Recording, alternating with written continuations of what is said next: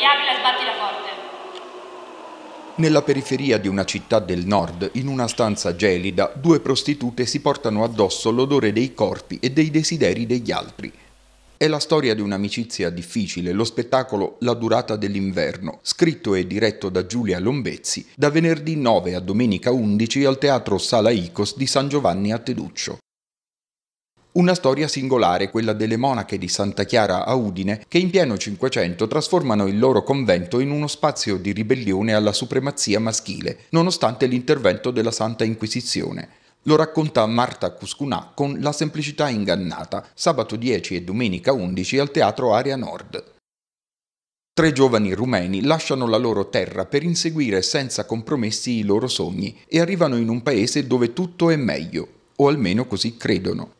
Kebab, il pluripremiato testo di Giannina Carbonario, sarà in scena sabato 10 e domenica 11 al nuovo Teatro Sanità con la regia di Riccardo Bellandi. Sala Icos, il Teatro Area Nord e il nuovo Teatro Sanità potranno essere raggiunti col Polibus, la navetta gratuita del comune di Napoli, disponibile su prenotazione.